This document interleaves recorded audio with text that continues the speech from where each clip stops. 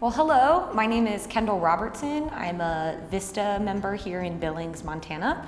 And we are here at the Yellowstone Art Museum in front of Mary Kearney Hull's Seeing.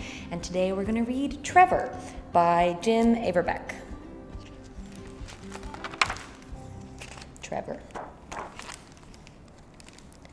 Trevor stretched his wings the width of his safe, boring cage.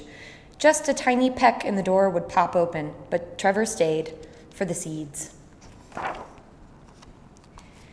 He coveted the stripy ones. He saved them for the loneliest days.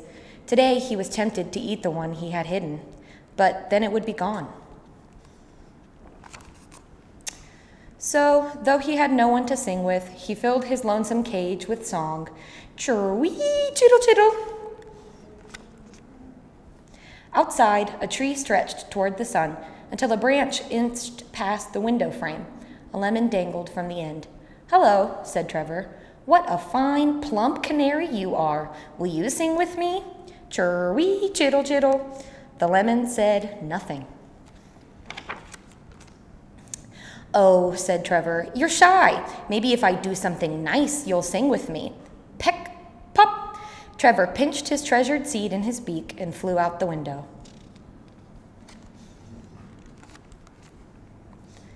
He deposited the seed on the branch. I've brought you a present, he told the lemon. The lemon remained silent. I like presents too, said Trevor expectantly, but the lemon offered nothing. Trevor hopped up and down, chittering and chattering. My turn, he cried. In all the commotion, the seed fell and was lost in the dirt.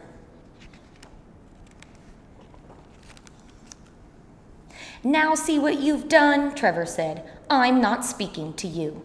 He turned his back on the lemon. And saw the vast, frightening world stretched out before him. He felt very lonely.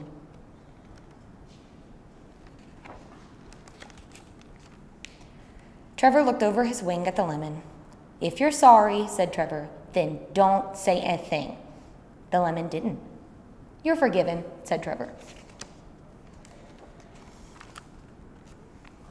Trevor built a soft nest for himself and his friend. The two huddled together through summer rains and enjoyed warm, sunny days. So did the striped seed, which sprouted and grew. Each morning, Trevor and the lemon performed a duet. Trevor sang the notes. Chirwee, chittle, chittle. The lemon sang the silences. Trevor snuggled up to the lemon. The lemon leaned back into Trevor. This is nice, said Trevor. I am never, ever leaving this nest. The lemon offered no opinion on the wisdom of this.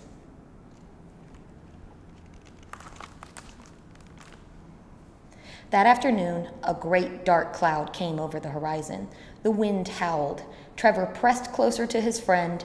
A strong gust of wind made their branch tremble. It was all Trevor could do to hold on.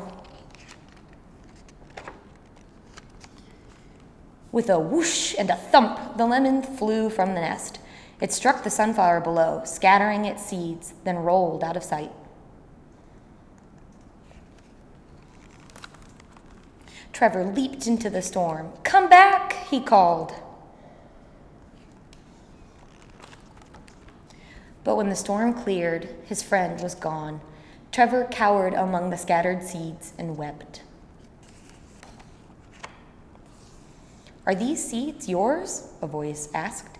May we share them? asked another. Trevor wiped away his tears. Bright eyed birds fluttered around him.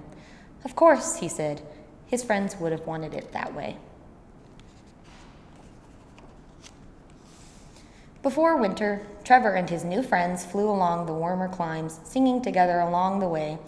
Chirp, chee, chip, chip, seet, seet, chee, chee, cheer, cheer, chittle, chittle, chee but he never forgot his first shy friend who gave him everything and asked for nothing at all.